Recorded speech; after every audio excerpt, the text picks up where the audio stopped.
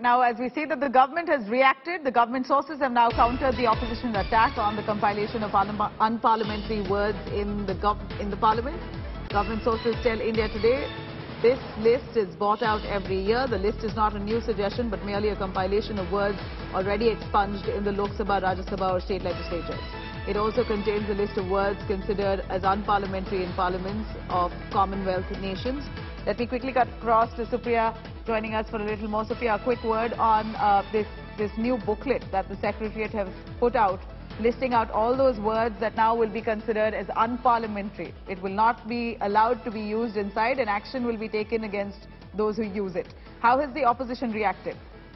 Well, before the monsoon session, the stormy scenes can be witnessed in the park corridors of Delhi. One thing is for sure that Congress as well as the other opposition parties uh, is going to attack the government on this very issue also. Uh, what we are hearing from the sources is that uh, all the opposition parties are saying that they will continue using these words and they will actually put in an appeal to the government uh, as well as the Lok Sabha and the Rajya Sabha Secretariat that these words should be allowed to say because these are being used in normal practice. Now, Rahul Gandhi, Congress's senior leader as well as member of parliament from Wayanad, has tweeted just now and said that this is a new dictionary for New India where he's saying that all these words, and I quote him, uh, is in uh, used in discussion and debates which correctly describe the Prime Minister's handling of the government now banned from being uh, spoken. For example, an unparliamentary sentence will go like this, Jumlajeevi Tana Shah shed crocodile tears when his lies and incompetence were exposed. Now, there are words which have been expunged, which were uh, being uh, told that these are the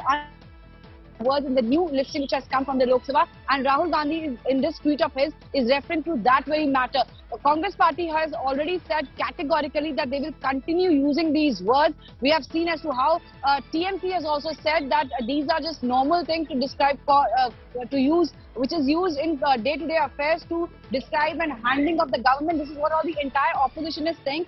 One thing is for sure that as far as this matter is concerned, we will be witnessing stormy scenes when monsoon session starts next week onwards. Absolutely, uh, thank you very much for joining us with those words. But of course, the government now responding, government sources saying that this is not new, it's a regular annual affair where list of words are added to, uh, uh, to the list of unparliamentary words. And this is not the only country, eh, all parts of the world, every country has their lists of approved words that could be used in the parliament and lists of banned words that cannot be used. Now, uh, here, uh, shamed words like jumlajeevi uh, and several other words like corrupt, uh, like hypocrisy, these are words that will now be banned in the parliament as a new list of unparliamentary words. A booklet has now been released by the Secretariat.